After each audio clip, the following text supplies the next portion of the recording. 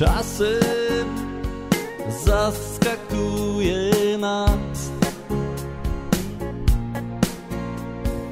Ufaj, kochany, Bóg ma dla nas plan. Czasem zaskakuje nas system miłości, ciągle trwam. On dla wszystkich jest, dla każdego z nas. Dziś potrzeba miłości, by piękniejszy był świat. Tak więc mój przyjacielu,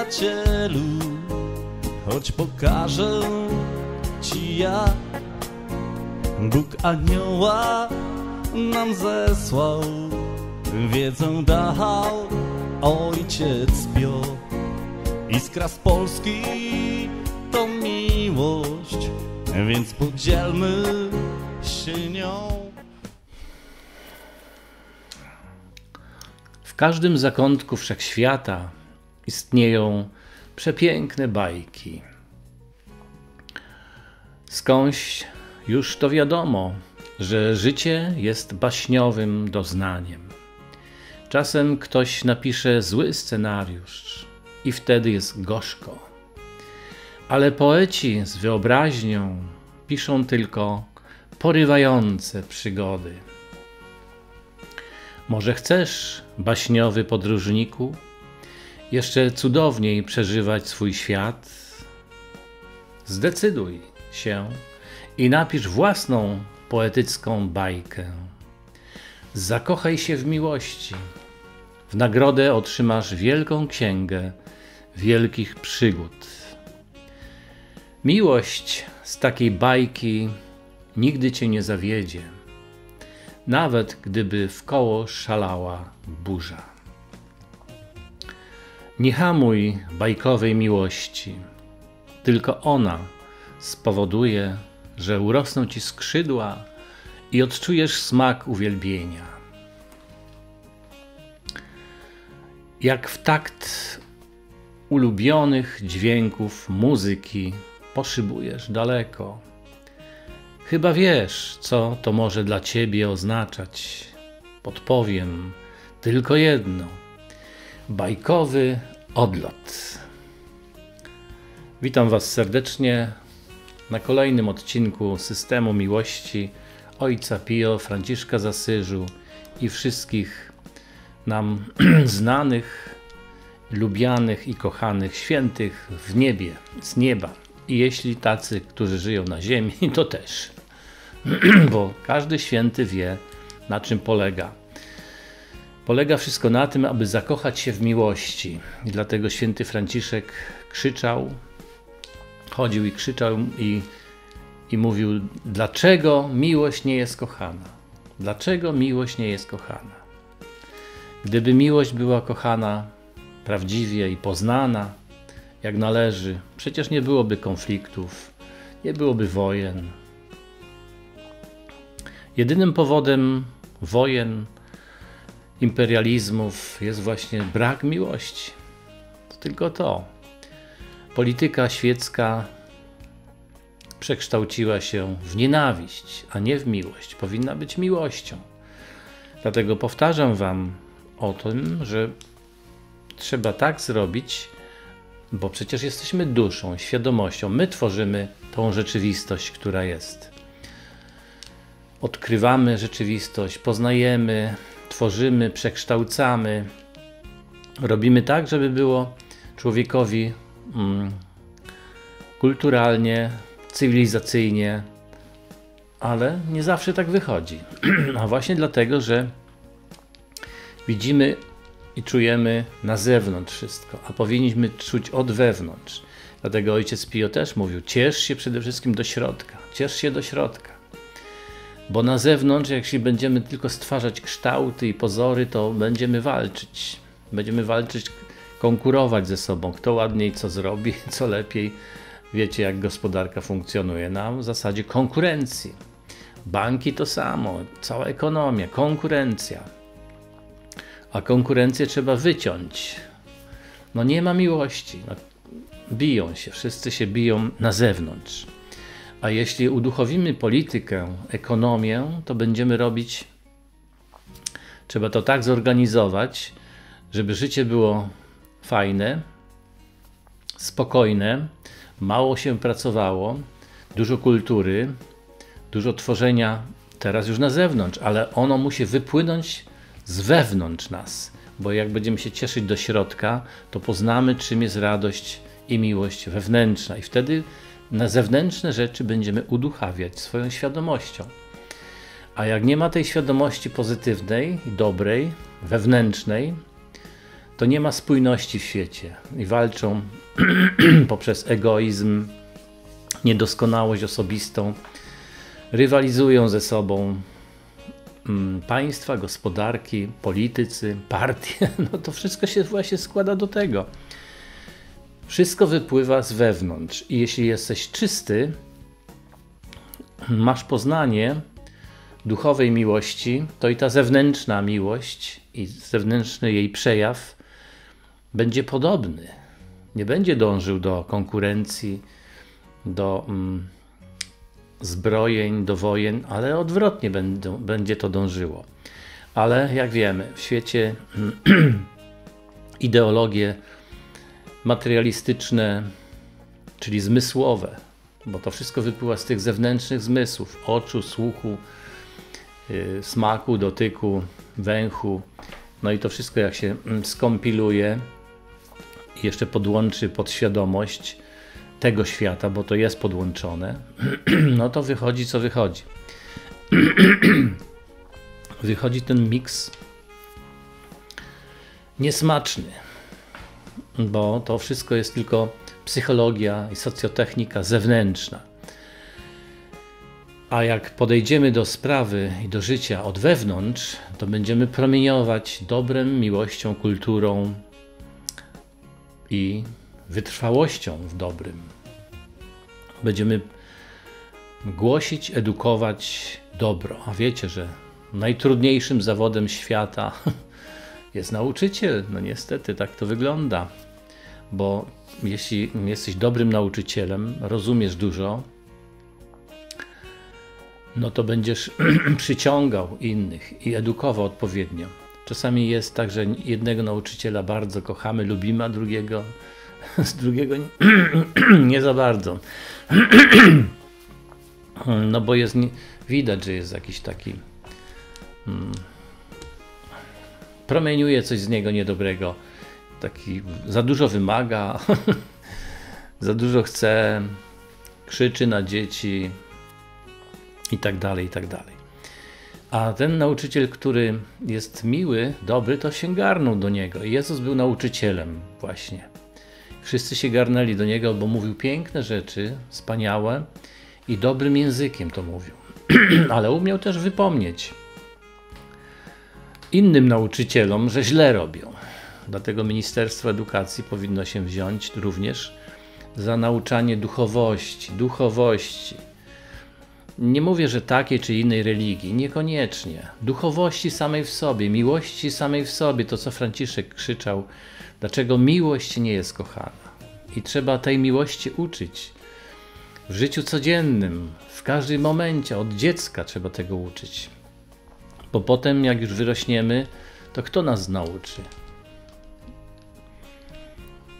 ulica, no nie za bardzo nas ulica nauczy. Pamiętacie, jak święty mm, Jan Bosko, który mm, od początku jest w moim umyśle razem z Teresą Wielką z XV wieku, to już wspominałem o tym, to on właśnie wyłapywał takie dzieci trudne z ulicy, co nie wiedziały, co ze sobą zrobić. I edukował, brał schroniska różne takie robił i tam ich uczył zawodu, mówił ich mówił im o dobrych rzeczach i przekształcał ich. Dzisiejsze zawodowe szkoły to właśnie założył święty Jan Bosko. Do dzisiaj działają w Polsce i gdzie indziej. to jest podstawa. Nauczanie i to jest bardzo trudne. Jan Bosko miał dużo przykrości od młodzieży, właśnie tej takiej niedobrej, bo on się zajmował głównie tą niedobrą młodzieżą. To jest trudna sprawa, bo już był źle wychowywany, taki młody, w, w domu był źle wychowywany przez, przez państwo, przez gminę. Nikt się tym nie zajmował, a edukacja, jak mówię, to jest podstawa i bardzo trudny zawód. Dlatego powinni być w szkołach nauczyciele bardzo wynagrodzeni, wysoko.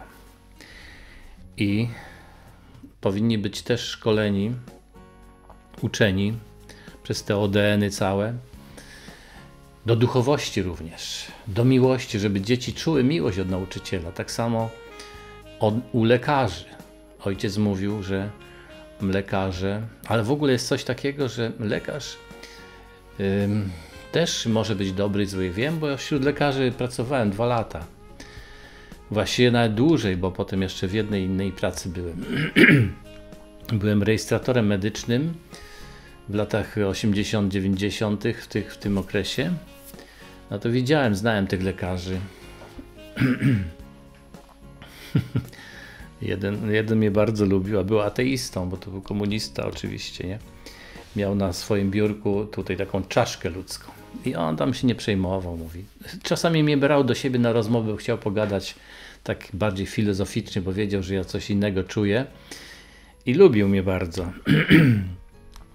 Ordynatorem był w tym, w tym, na tym oddziale. Taki wysoki, ponad dwa metry.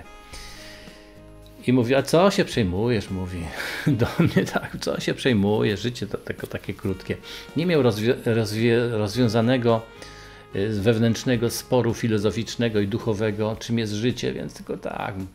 Wiem, że on dużo, dużo osób, no niestety, wysłał na drugi świat, bo tam był oddział rakowy. Ja tam byłem właśnie, więc co dzień ktoś umierał, byłem przy tych śmierciach często widziałem, rozmawiałem z tymi ludźmi, z takim panem Józefem. Kiedyś o tym już mówiłem.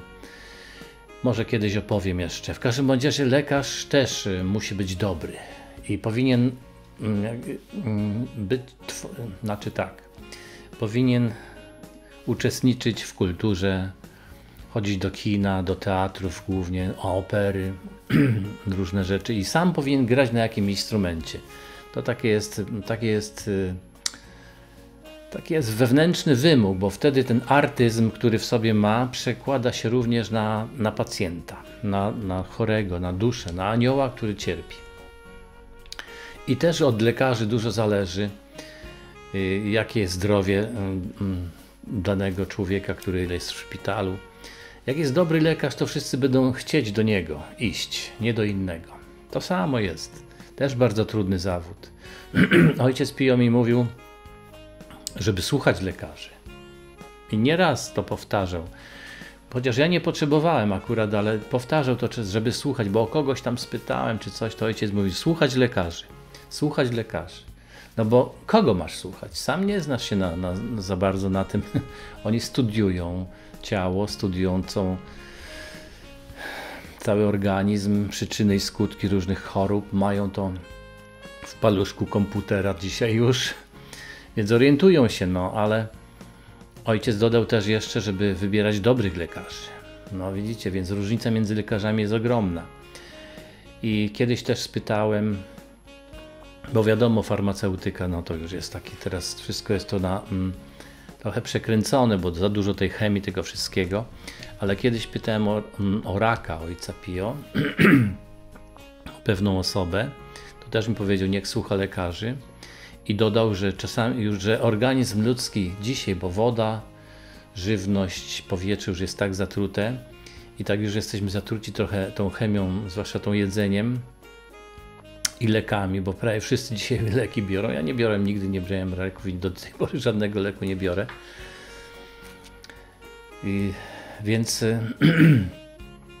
mówił, że dzisiaj jest organizm ludzki już tak Mm, tak schemizowany, że już czasami tylko chemia może pomóc człowiekowi wyzdrowieć. Tak mi dosłownie powiedział, że już nic nie działa, tylko jeszcze chemia może pomóc. No bo już tkanki, komórki są już tak przyzwyczajone do tej chemii, że takie naturalne środki już nie chcą działać. Za słabe są.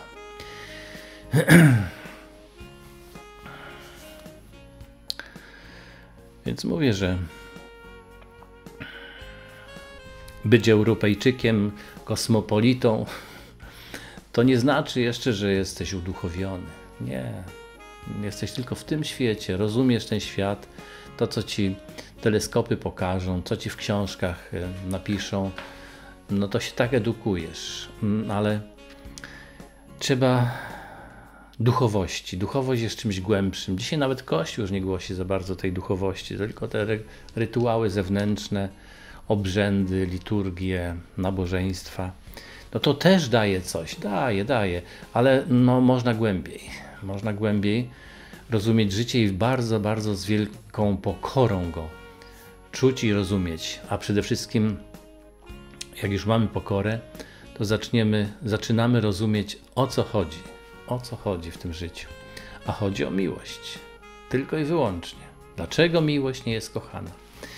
I jeśli byśmy tym, tą drogą, systemu miłości, właśnie, to jest system miłości, poszli, to i polityka by się zmieniła, nie byłoby mniej agresji, i lewica z prawicą by się pogodziły, i telewizje by były lepsze, niekonkurencyjne, no bo ci naparzają tak, a ci naparzają tak. No to, to też jest źle. No. I nie ma prawdy po środku, bo Jedni i drudzy potrafią kłamać albo manipulować. Więc y, duchowość to iść w kierunku miłości Boga i bliźniego.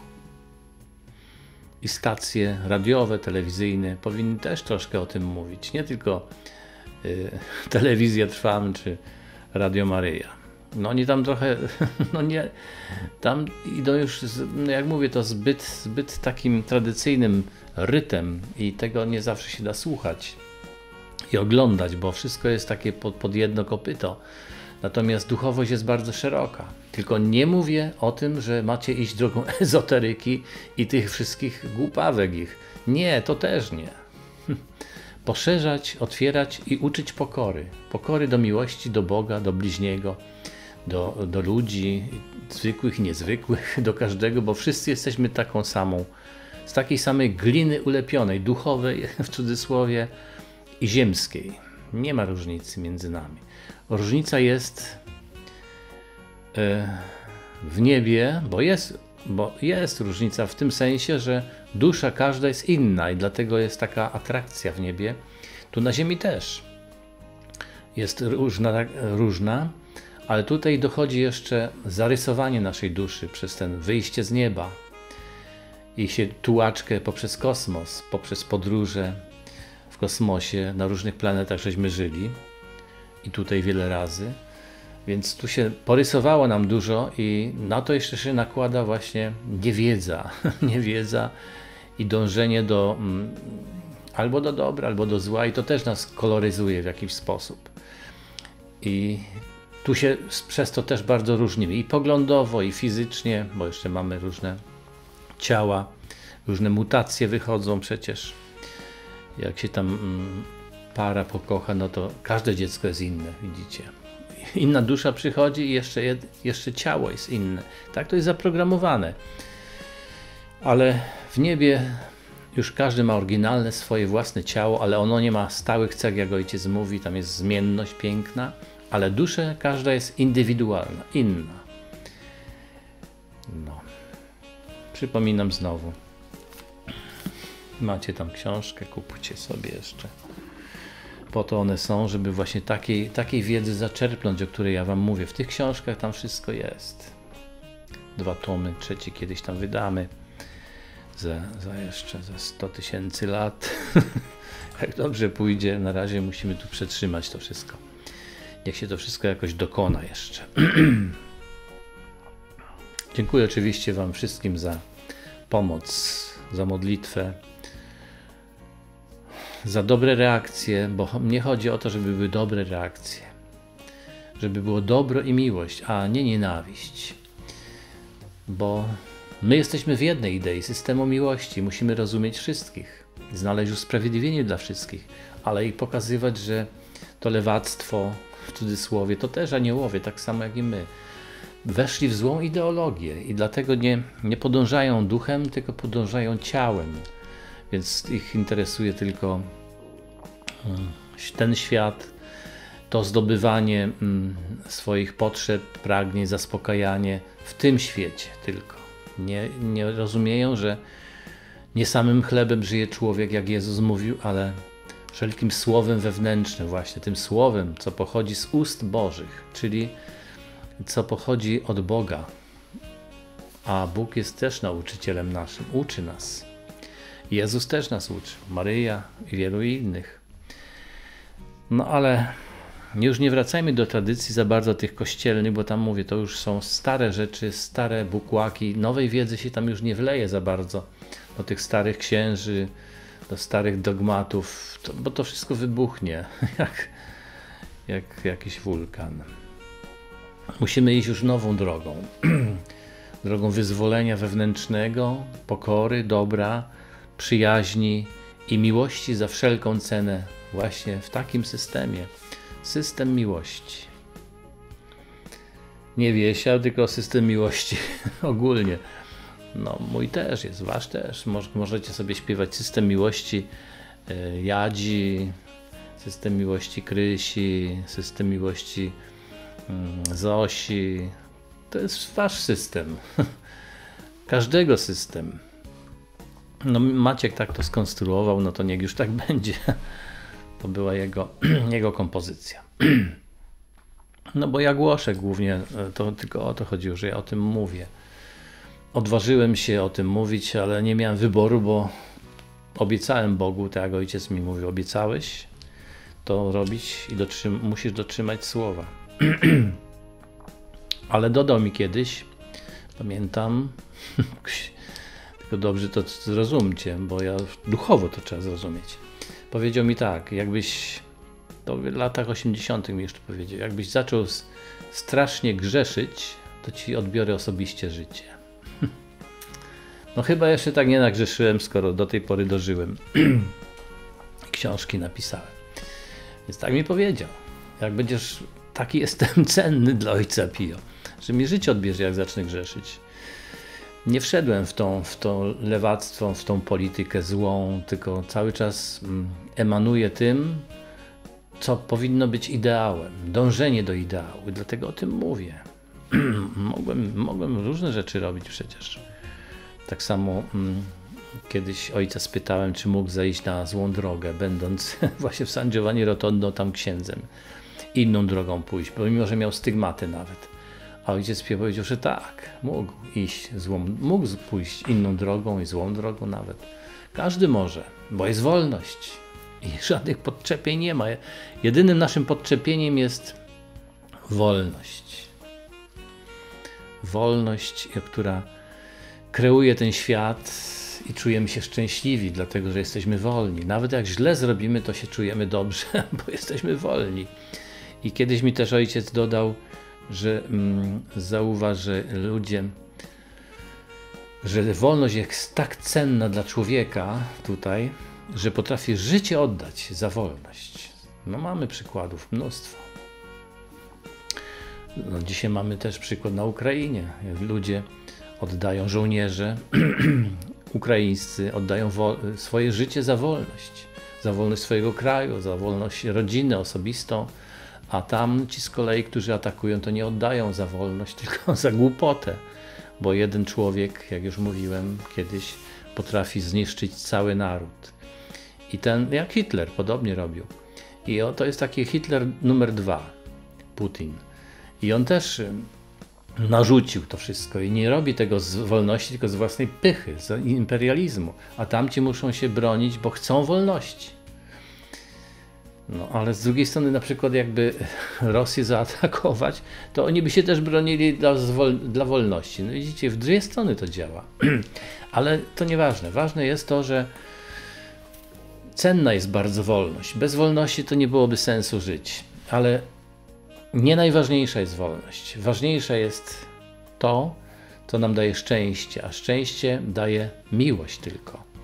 W wolności oczywiście, bo miłość i jaźń nasza jest miłością. Tak nas Bóg stworzył, taką duszę. I tylko ona mm, daje satysfakcję i, i poczucie wieczności. Tylko ta miłość właśnie, z tą świadomością, z tą wolnością, którą mamy. I ojciec właśnie też mówił, że tak naprawdę bez miłości nic nie ma sensu. No to tak pożyjesz sobie tam, różne rzeczy kupisz, staniesz się bogaty, 15 domów i samochodów sobie e, kupisz i wybudujesz i to możesz żyć bez miłości, tylko tym światem i wrócisz, nie ma siły, no bo dom prawdziwy i samochody prawdziwe, luksusowe są w nas, wewnątrz, dlatego ojciec mówi ciesz się do środka. Zewnętrzne formy przejawu naszej świadomości, one nie do końca, nie do końca nam dają szczęście, bo samochód przyjdzie powódź, to powywraca, zniszczy wszystko, dom się przewróci, postawisz na górze, na górce jakieś, pamiętacie jak w Polsce nawet było gdzieś to, w Bieszczadach, czy gdzieś to było, pamiętam już dawno, postawione piękne budyneczki na takich skarpach. No i przyszły deszcze i się za, zapadały, wszystkie się pozapadały po, po dach niektóre nawet, niektóre się przewróciły. I to w Polsce było. Więc widać, jak to, mm, to jest tylko ta forma zewnętrzna, natomiast wewnętrzna, jeśli nam coś tutaj się zawali, to zaraz możemy odbudować w tym samym momencie. Upadniemy, budujemy się na nowo. Tu jest piękne właśnie. A budować się można tylko właśnie konsekwencją, dobrem, miłością, szlachetnym poczuciem, że jestem boską istotą, a nie mm, jakimś kosmitą tylko, czy jakimś mm, uczniem Stalina, Putina i innych, czy jakichś innych filozofów. Nie, nie jesteśmy przedłużeniem niczyim. Jesteśmy tylko wolnymi istotami, podobnymi do Boga i Bóg jest tak wspaniały, że nawet nie chce, abyśmy mieli poczucie, że On nas stworzył. Tak, żebyśmy mieli poczucie, że jesteśmy tacy jak On prawie ale jednak jesteśmy stworzeniami. Bo ojciec Pio powiedział, nie jesteśmy bogami, tylko stworzeniami. No dobra. O, już pi, czas mija. Ja tylko bajkę przeczytałem. No dobra, to jeszcze tylko jakąś jedną myśl. O, teraz może się pomodlimy za tych wszystkich przywódców, za spokój na świecie i za dusze, które idą mm, mm, które w ciałach umierają, żeby się szybko odnalazły i poszli tą drogą, jaką należy iść, że im tam doradzą, żeby się jak najszybciej zbawili wszyscy. Święty Michale Archaniele, przyjdź ze swoim niebiańskim wojskiem i uchroń nas przed demonem zła, któż jak Bóg jest dobry, mocny i w miłości nieskończony.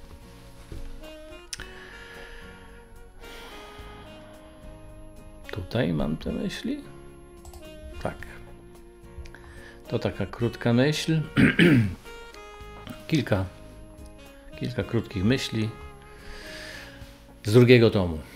W studiach duchowych poznaje się materię i ducha wiecznego. W nauce świeckiej tylko materię i odruchy psychologii. Ale świeckość przechodzi już powoli do lamusa i prehistorii. Przyjazna i miłosna duchowość wygrywa na każdym pułapie z głupotą empirii i umysłu władzy. To dopiero nadchodzi. Już to dawno pisałem. I następna króciutka myśl. Rozmyślania trzeba się uczyć na spacerze, na krześle i w łóżku. Szukanie jest jednym sposobem, aby uzyskać siłę i kreatywność w pokorze. Tolerancja, jak miłosierdzie, jest mądrością serca. Utwierdzeniem zrozumienia życia jest uczucie ulgi i pokoju. Wielkich rzeczy nie dokonuje nikt, istnieją one od dawna. My je tylko znajdujemy i powielamy, aby było wesoło i ciekawie. Wszystko jest gotowe, nawet Biblia o tym mówi. Wszystkie doskonałości, wszystkie kreacje, jakie chcemy, już są gotowe w naszej wyobraźni, w naszym odczuciu, w naszych, w naszych, w naszym wewnętrznym niebie, intuicji. Wszystko jest, tylko trzeba to szarpnąć i przybliżyć sobie i się przytulić do tego. I będzie dobrze. To tyle. Jeszcze maczka na koniec.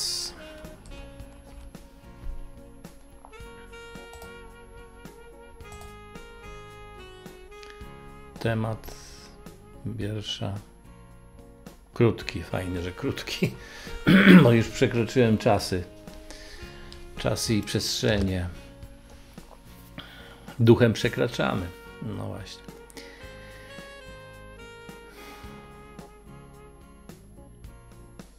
Jak księżyc, Maćka, wiersz. Ten, co jeździł też na rozmowy z ojcem Pio.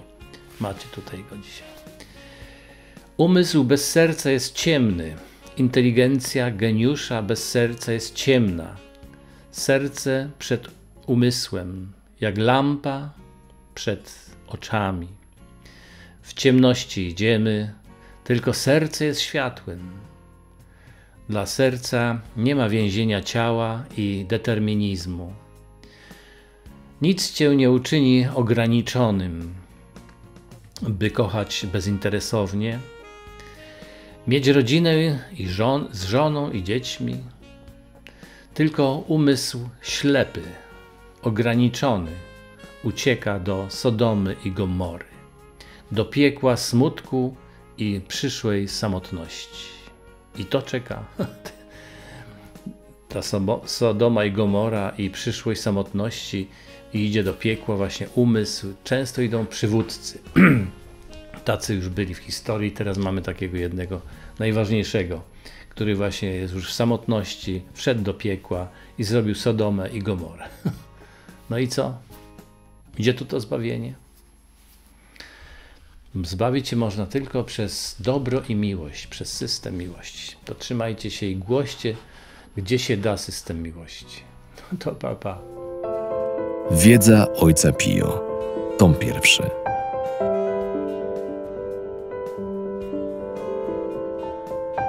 www.systemmiłości.pl